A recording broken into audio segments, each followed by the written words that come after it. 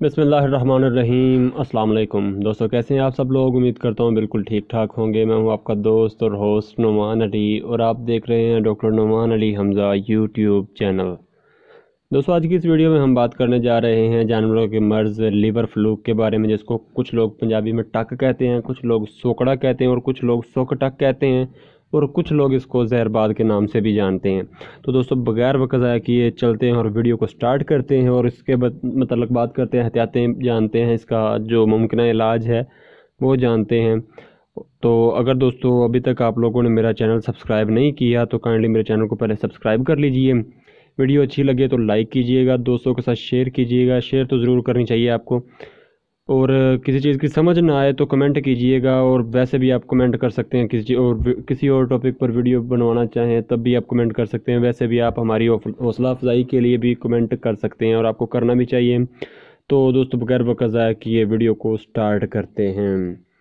تو دوستو، سب سے پہلے تو میں آپ کو یہ بتا دوں کہ مجھے مطلب کیوں خیال آیا؟ اب تک کیوں خیال نہیں آیا؟ مجھے پچھلے دنوں میں ایک دوست نے کہا تھا کہ واٹس ایپ پہ شاید ایس ایم ایس کیا تھا یا پھر کسی کمنٹ میں تھا۔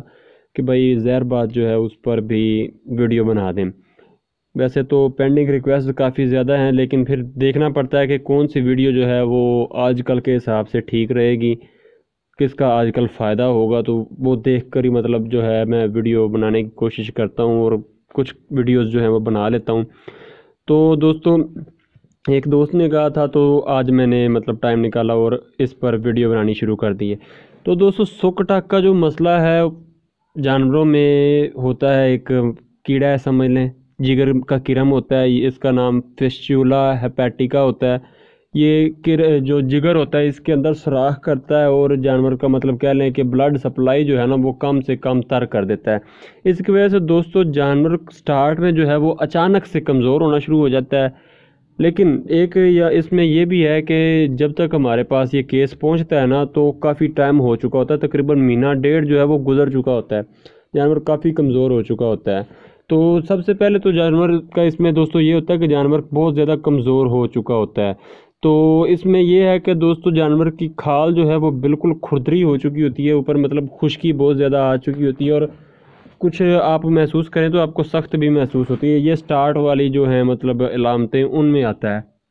اور اس کے علاوہ دوستو، جانور کا جو مطلب کہہ لیں کہ سینے والا حصہ ہوتا ہے، ٹانگوں کے درمیان اس کو پنجابی میں کولی کہتے ہیں۔ اس جگہ پر دوستو، آپ ہاتھ لگا کر چیک کریں تو آپ کو اس کے اندر فلوئڈ وغیرہ جو ہے وہ محسوس ہوگا۔ اس کے علاوہ دوستو، جانور کا جو جبڑے کا نچلے حصہ ہوتا ہے، کہہ لیں جہاں پر مطلب جب گل گھوٹو کا مسئلہ بنتا ہے تو سوجن ہوتی ہے۔ اسی جگہ پر دوستو، آپ کو ہلکی سی سوجن محسوس ہو سکتی ہے اور وہاں پر آپ مطلب پلپیٹ کرنے کی کوشش کریں گے تو آپ کو وہاں پر محسوس ہوگا کہ جانور کو مطلب وہاں پر فلوئڈ وغیرہ اس جگہ پر موجود ہے۔ اس کے علاوہ دوستو، جانور کی مطلب کہہ لیں کہ جو گال وغیرہ ہوتی ہے، گال جو ہے، چیک جسے آپ کہتے ہیں، اس اس جگہ پر مطلب ایک روبڑا سا بن جاتا ہے، وہ جگہ ابھر جاتی ہے۔ یہ بالکل سٹارٹ والی علامتوں میں آتا ہے کہ جانور میں یہ پرابلم آ جاتی ہے۔ تو یہ بھی اس کی علامتوں میں ہے۔ اس میں دوستو ٹمپریچر کا کوئی مطلب کہہ لیں کہ کنسیپٹ ہی نہیں ہے۔ ٹمپریچر اپ بھی رہتا ہے ڈاؤن بھی ہو جاتا ہے۔ اگر جانور زیادہ کمزور ہو گیا تو کہہ لیں کہ جانور کی کمزوری کی وجہ سے اس کا ٹمپریچر جو ہے وہ ڈاؤن ہے۔ اور اگر جانور تھوڑا سا مطلب ابھی تک صحت مند ہے تو کہہ لیں کہ اندر جو کرم ہے ان کی وجہ سے جانور کا ٹمپریچر جو ہے وہ اپ ہے۔ وہ جانور کو اندر ڈسٹرب کر رہے ہیں، اس لیے اس کا ٹمپریچر اپ ہے۔ باقی اس بیماری کے ساتھ میرے خیال سے ٹمپریچر کا کوئی لنک نہیں ہے۔ اس کے علاوہ دوستو، ایک اور پرابلم ساتھ میں آ رہی ہوتی ہے، جانور کا جو مطلب جانور کی کھال جو ہوتی ہے، خاص کر کے جو ہمارا ہماری نیلی راوے بھینس جو ہے، اس کی کھال جو ہے، وہ لوگوں کو سرخی مائل محسوس ہو رہی ہوتی ہے۔ اس وقت لوگ کہتے ہیں کہ جانور کو زہر باد کا مسئلہ بن گیا۔ تو اب دوستو بات کر لیتے ہیں اس کے سادہ سے علاج کی۔ علاج میں دوستو سب سے پہلے نمبر پر تو یہ ہے، میں ویسے آپ کو ریکمینڈ کروں گا پھر بھی کہ آپ سب سے پہلے اپنے جانور کا بلڈ ٹیسٹ اور گوبر کا ٹیسٹ جو ہے وہ ضرور کروائیں۔ ہو سکتا ہے کہ صرف مسئلہ یہی نہ ہو۔ مسئلے مزید بڑھ چکے ہوتے ہیں کیونکہ تقریباً اگر آپ کے جانور میں یہ پرابلم ہے کہ جانور کی کھال سوکھی ہوئی ہے اور اس کا، اس کے مطلب ہڈیوں کا ڈھانچہ بن گیا ہے تو بڑے زیادہ چانسز ہیں کہ اس کو یہ مسئلہ صرف یہی اکیلا نہیں ہے، اس کو کوئی نہ کوئی اور مسئلہ بھی ساتھ میں ضرور ہے۔ تو آپ کوشش کر کے پہلے جانور کا گوبر ٹیسٹ اور ساتھ میں جو ہے خون کا ٹیسٹ یہ کروا لیں اور اس میں جو کیڑے وغیرہ آتے ہیں، ان کا علاج بھی ساتھ میں کروا لیں۔ اور اس بیماری کا جو مین علاج ہے وہ دوستو یہ ہے کہ نائٹوکسنل نام کا انجیکشن ہوتا ہے۔ یہ سالٹ ہے بیسیکلی یہ جو مارکیٹ میں آتے ہیں، نائٹروکسی نائٹروکسل نائٹوکسل ٹروکسی ٹروکسی thirty four twenty three percent اس طرح سے آتا ہے۔ اس کے علاوہ ٹروڈیک ایل اے کے نام سے انجیکشن آتا ہے۔ یہ آپ کو ایزیلی سرکاری ہاسپٹلز میں بھی اویلیبل ہوگا، آپ وہاں سے بھی لے کر اپنے جانور کو لگا سکتے ہیں۔ دوستو لارج اینیمل میں اس کی میکسیمم ڈوز جو ہے وہ پندرہ سی سی ہے۔ آپ پندرہ سی سی زیادہ استعمال نہیں کروا سکتے۔ اور آٹھ دن کے بعد آپ نے دوستو، جانور کو یہ ریپیٹ بھی کرنا ہوتا ہے۔ ہر حال میں آپ نے آٹھ دن کے بعد جانور کو یہ انجیکشن ریپیٹ کرنا ہے۔ تبھی کہہ لیں کہ آپ کو اچھا رزلٹ ملے گا۔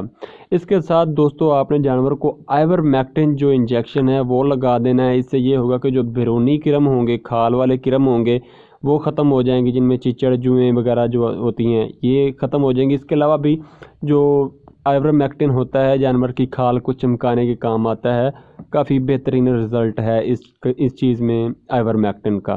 دوستو، جیسا کہ ہمیں پتہ ہے کہ اس بیماری میں جانور کا جو جگر ہے، اس کو کافی زیادہ پرابلم ہوئی ہے، اس میں سراخ بھی ہو گئے ہیں اور بھی کافی زیادہ مسئلے بن گئے ہیں۔ تو آپ نے کوشش کر کے جانور کو کم از کم سو ایم ایل کیراسل کا انجیکشن لگا دینا ہے۔ ایک ساتھ نہیں لگانا، کم از کم چار ڈوز آپ نے کر لینی، چار دن لگاتار لگانا ہے۔ یہ جگر کو کافی مطلب سپورٹ دیتا ہے جی، جانور جو ہے، اس کو کافی زیادہ فائدہ ملے گا۔